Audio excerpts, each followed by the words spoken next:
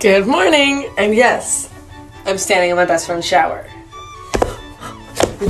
You were wondering, this is my normal hair. Um, this is my natural hair, but I don't like it, so I curl it. But I use a flat iron.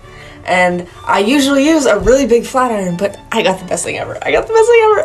It's a little one. I didn't even know that these existed, but it's teeny.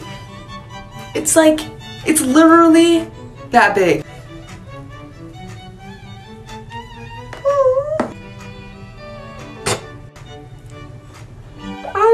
Like it. It's honestly not that different from my normal hair, but it's so curly.